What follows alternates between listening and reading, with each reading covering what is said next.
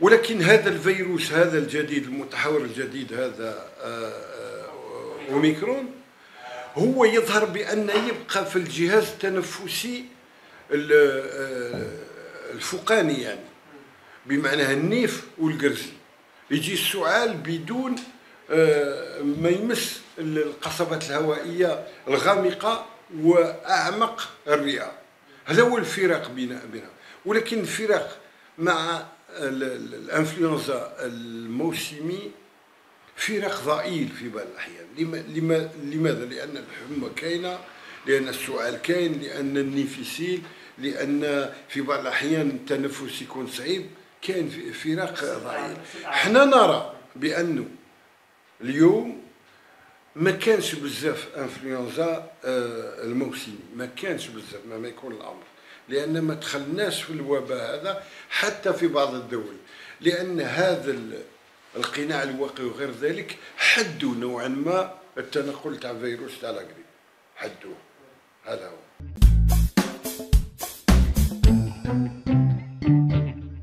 هي في الحقيقة ما يقيش أكثر ولكن يظهر بأن الأطفال بحكمهم. يكونوا في أقسام يعني تاع تمدرس ونتاع نتاع كيما نقولوا حنايا لي زيكول آه، أماكن مغلقة. وخاصة نعرف الحقيقة نتاع ال- الأقسام الجزائرية بأن ما كانش هناك ظروف يعني صراحة حسنة.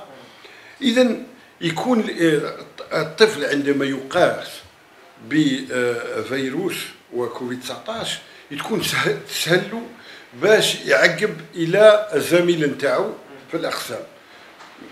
على حسب الساعات اللي يقضيها في التمدرس يعني.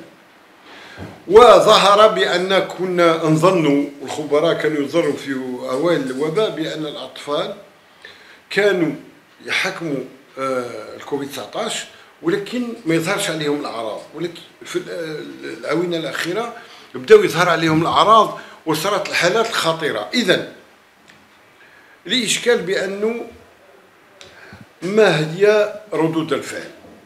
في بعض الدول بدأوا يلقحوا الأطفال لأن الضرورة بأن هم طبعا لحقوا إلى 70 80% من الناس الكبار بمعنى الناس العاديين الناس في في المواطنين تاعهم في العاديين. بدأوا داروا الأطفال بدأوا يلقحوا فيهم. حنا الإشكال نتاعنا بأن الكبار ما حبوش يتلقحوا. اذا كيف تحب أولياء التلاميذ؟ هم ما حبوش يتلقحوا كيف أولادهم يتلقحوا هذا اللي قلت لك. لماذا؟ لأن لازم الحملة التوعية تكون أكثر.